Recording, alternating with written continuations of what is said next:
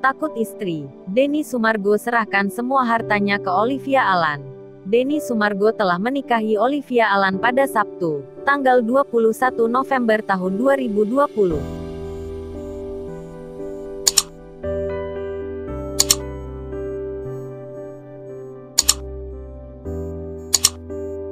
Sebelum resmi menyandang status sebagai seorang suami, Denny Sumargo pernah merasakan pahitnya gagal menikah di tahun 2018 lalu. Cerita ini dia bagikan saat menjadi bintang tamu di kanal YouTube Ayu Dewi. Memiliki masa lalu yang sama, pemain film 5CM itu mengaku terinspirasi dari Ayu Dewi. Diketahui Ayu Dewi pernah gagal menikah dengan Zumi Zola.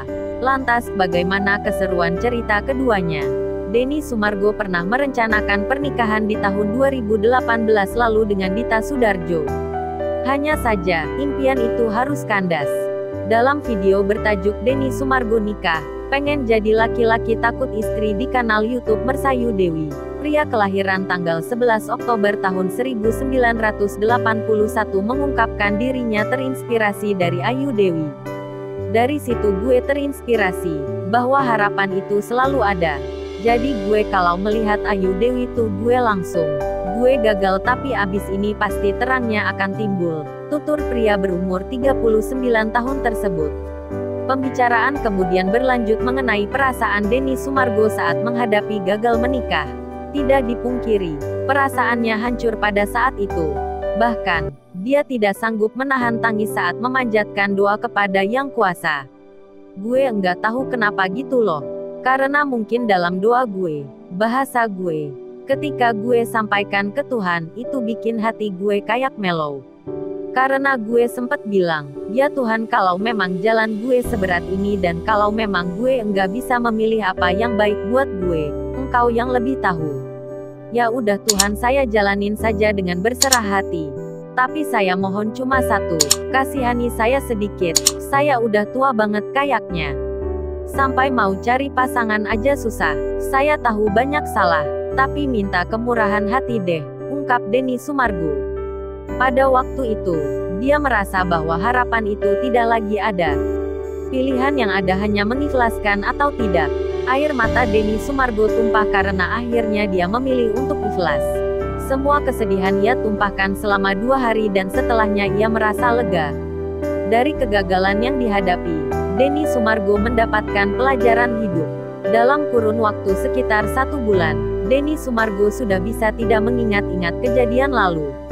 Lebih lanjut, mantan pebasket profesional ini mengaku termasuk tipe yang santai alias tidak bucin dalam urusan asmara. Gue santuy ya jatuhnya, tapi gue berharap ketika gue punya pasangan, istri ya bukan pacar. Gue enggak mau bucin sama pacar. Enggak ada kepastian itu. Buang-buang waktu sama duit. Tapi gak apa-apa. Semua ada proses kan. Nah gue pengin sama istri gue. Gue bucin. Gue pengin jadi laki-laki yang takut istri. Jawabnya. Dalam kesempatan tersebut, Denny mengungkapkan bahwa ia dan pasangannya yang berinisial U, yang kini diketahui sebagai Olivia, telah membuat sebuah aturan yaitu Denny Sumargo tidak mau memegang uang. Semua harta yang dimiliki merupakan kepunyaan istri. Hal tersebut merupakan impian Denny Sumargo di akhir hidupnya dan sudah ia mulai sejak sekarang. Pemain film Amen Call Ahok itu tidak ingin meninggal dengan memikirkan masalah uang. Dia hanya mau bekerja, bersenang-senang dan menjadi pelayan untuk keluarga. Ternyata, hal ini juga dipengaruhi oleh label yang diberikan banyak orang pada dirinya. Ya, Denny Sumargo mengaku membaca komentar-komentar buruk yang ditujukan pada dirinya.